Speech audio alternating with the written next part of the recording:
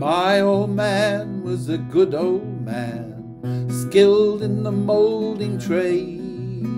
In the stinking heat of the iron foundry, my old man was made.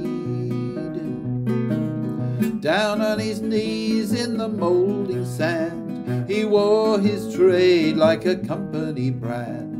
He was one of the Cyclops smoky band. Yes, that was my old man.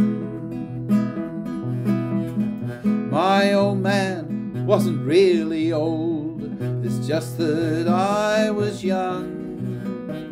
And anybody over 12 years old was halfway to the tomb. He was loyal to his workmates all his life, gave his pay packet to his wife, had a few jars on a Saturday night. Yes, that was my old man. My old man was a union man, fought hard all his days. He understood the system and was wise to the boss's ways.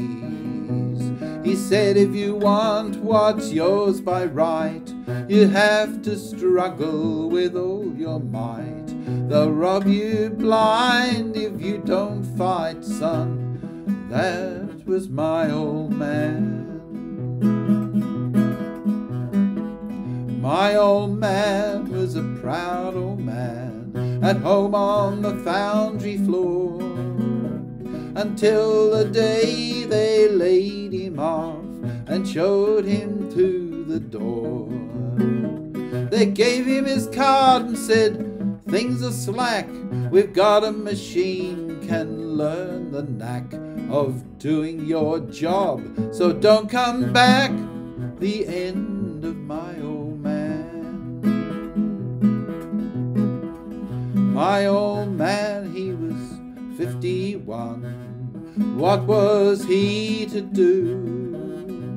A craftsman moulder on the dole in 1932. He felt he had given all he could give, so he did what thousands of others did. Abandon hope and the will to live. They killed him, my old man. My old man, he is dead and gone. Now I am your old man.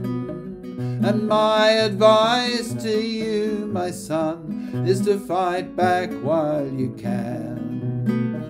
Watch out for the man with the silicon chip. Hold on to your job with a good firm grip. Cause if you don't, you'll have had your chips the same as my old man.